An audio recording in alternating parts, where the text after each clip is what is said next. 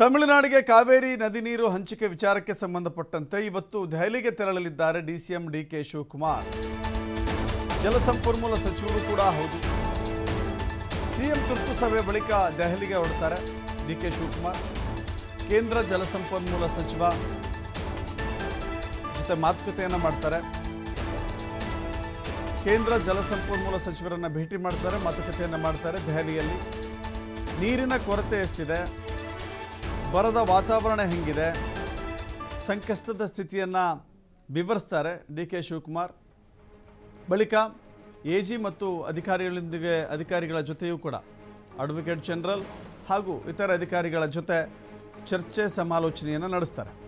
ಕಾನೂನು ಹೋರಾಟ ಮಾರ್ಗದ ಕುರಿತಂತೆ ಏನೆಲ್ಲ ಆಯ್ಕೆಗಳಿದೆ? ರಾಜ್ಯ ಸರ್ಕಾರ ಯಾವ ಆಯ್ಕೆಯಲ್ಲಿ, ಯಾವ ಕಾನೂನಿನ ಆಯ್ಕೆಯಲ್ಲಿ ಈ ಸಂಕಷ್ಟದ ಸಂದರ್ಭದಲ್ಲಿ ಸಮಸ್ಯೆಯನ್ನು ಬಗೆಹರಿಸಿಕೊಳ್ಳುವ ನಿಟ್ಟಿನಲ್ಲಿ ಚರ್ಚೆಯನ್ನು ಮಾಡ್ತಾರೆ. ಒಂದು ತೀರ್ಮಾನ ಅಂತೂ ಆಗುತ್ತೆ ಇವತ್ತು ಅಂತ ಕಾಣಿಸುತ್ತೆ.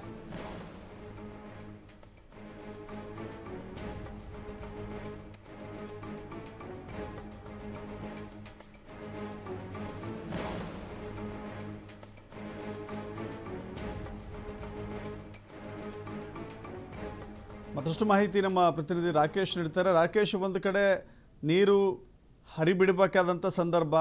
ಒಂದು ವೇಳೆ ನೀರು ಹರಿಬಿಟ್ರೆ ತಮಿಳುನಾಡಿಗೆ ರಾಜ್ಯದ ರೈತರ ಆಕ್ರೋಶವನ್ನು ಆಕ್ರೋಶಕ್ಕೆ ತುತ್ತಾಗಬೇಕಾದ ಸಂದರ್ಭ. ರಾಜ್ಯದ ರೈತರ ವಿರೋಧವನ್ನು ಕೂಡ ಫೇಸ್ ಮಾಡಬೇಕಾಗತ್ತೆ. ಇದೆಲ್ಲದರ ಜೊತೆಗೆ ಸಂಕಷ್ಟದ ಸ್ಥಿತಿ ಇದೆ. ಬರಪೀಡಿತ ಪ್ರದೇಶಗಳಾಗಿ ಮಂಡಿ ಹಾಕೊಳ್ಳದ ರೈತರು ಭೂಮಿಗಳಾಗಿ ಬರಪೀಡಿತ ಪ್ರದೇಶಗಳಾಗಿದ್ದಾವೆ. ಇಂಥ ಸಂದರ್ಭದಲ್ಲಿ ನೀರು ಹರಿಬಿಡೋದು ಕೂಡ ಕಷ್ಟ. ಆದರೆ ಎಲ್ಲೊಂದು ಕಡೆ ಸಮರ್ಪಕವಾಗಿ ವಾದ ಮಂಡಿಸುವಲ್ಲಿ ನಮ್ಮ ಕರ್ನಾಟಕದ ಅಧಿಕಾರಿಗಳು ವಿಫಲರಾಗಿದ್ದಾರಾ? ಒಂದು ವೇಳೆ ಸಮರ್ಪಕವಾಗಿ ವಾದ ಮಂಡಿಸಿದರೆ, ಸಂಕಷ್ಟದ ಸ್ಥಿತಿಯನ್ನು ಅರಿವು ಮಾಡಿಸಿದರೆ ಮತ್ತೆ ಈ ರೀತಿಯ ಅವ, ಅವಕಾಶ ಇರಲಿಲ್ಲ. ಸದ್ಯಕ್ಕೆ ರಾಜ್ಯದ ಮುಂದಿರುವಂಥ ಆಯ್ಕೆಗಳೇನು ಅಂತ?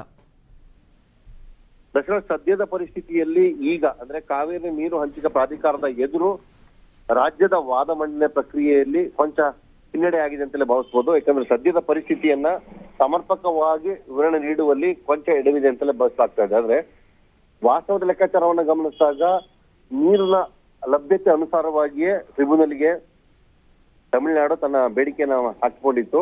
ಅದರ ಅನುಸಾರ ಈಗ ನೀರು ಬಿಡೋದಕ್ಕೆ ಪ್ರಾಧಿಕಾರ ಹೇಳ್ಕೊಂಡಿದೆ.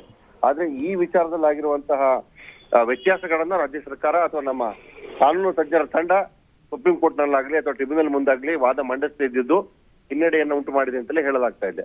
ಆದ್ರೂ ಇವೆಲ್ಲವನ್ನ ಮೀರಿ ಈಗ ಸದ್ಯದ ಪರಿಸ್ಥಿತಿಯಲ್ಲಿ ರಾಜ್ಯದ ಹಿತ ಕಾಪಾಡುವಂತ ಜವಾಬ್ದಾರಿ ರಾಜ್ಯ ಸರ್ಕಾರದ ಮೇಲಿದೆ. ಹೀಗಾಗಿ ಆದೇಶವನ್ನ ಪಾಲನೆ ಮಾಡೋದರ ಹೊರತಾಗಿಯೂ ಅಂದ್ರೆ ಆದೇಶವನ್ನ ಪಾಲನೆ ಮಾಡಬೇಕಾದ್ದು ಮೂಲ ಧರ್ಮ ಒಕ್ಕೂಟ ವ್ಯವಸ್ಥೆಯಲ್ಲಿ ಇದನ್ನ ಮಾಡಲೇಬೇಕಾಗುತ್ತೆ. ಇದರ ಹೊರತಾಗಿಯೂ ರಾಜ್ಯದ ಈಗಿನ ಪರಿಸ್ಥಿತಿಯನ್ನ ಸಮರ್ಥವಾಗಿ ಬಿಂಬಿಸುವಂತಹ ಪ್ರಕ್ರಿಯೆಯನ್ನ ಮಾಡಬೇಕಾಗುತ್ತೆ.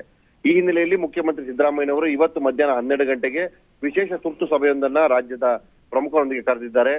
ಮಾಜಿ ಮುಖ್ಯಮಂತ್ರಿಗಳು, ಸಂಸದರು ಸಚಿವರು ಹಾಗೂ ಶಾಸಕರುಗಳು ಹಾಗೂ ಕಾವೇರಿ ಜಲಾನಯನ ಪ್ರದೇಶದ ಪ್ರಮುಖರೊಂದಿಗೆ ಈ ಸಭೆ ನಡೆಯಲಿದೆ. ಇದಾದ ಬಳಿಕ ಜಲಸಂಪನ್ಮೂಲ ಸಚಿವರು ಹಾಗೆ ಉಪಮುಖ್ಯಮಂತ್ರಿಗಳಾಗಿರುವಂತಹ ಡಿ ಕೆ ಶಿವಕುಮಾರ್ ಅವರು ದೆಹಲಿಗೆ ತೆರಳಿ ಕೇಂದ್ರ ಜಲ ಸಚಿವ ಸಂಪನ್ಮೂಲ ಸಚಿವರೊಂದಿಗೆ ತಮ್ಮ ಅಹವಾಲನ್ನ ಮಂಡಿಸಲಿದ್ದಾರೆ.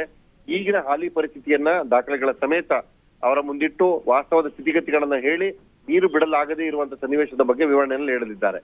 ಒಂದು ವೇಳೆ ಇದನ್ನು ಮೀರಿಯೂ ಸರ್ಕಾರದ ನಿಲುವನ್ನ ಪ್ರಕಟಿಸಿದ್ರೆ ಕೇಂದ್ರ ಸರ್ಕಾರ ಇದಕ್ಕೆ ಒಪ್ಪದಿದ್ರೆ ಅವಾಗ ಅನಿವಾರ್ಯವಾಗಿ ರಾಜ್ಯ ಸರ್ಕಾರ ತನ್ನ ನಿಲುವನ್ನ ಪ್ರಕಟಿಸಬೇಕಾಗುತ್ತದೆ. ರಾಜ್ಯದ ಬದ್ಧತೆಯನ್ನ ಕಾಪಾಡೋದ್ರಿಂದಾಗಿ ಸರ್ಕಾರದ ಅಂದ್ರೆ ಒಕ್ಕೂಟ ವ್ಯವಸ್ಥೆಯ ಕೆಲವೊಂದು ನಿಯಮಗಳನ್ನ ಅನಿವಾರ್ಯವಾಗಿ ಮುರಿದು ನಿಲ್ಲಬೇಕಾದಂತಹ ಸನ್ನಿವೇಶ ಸೃಷ್ಟಿಯಾಗುತ್ತೆ.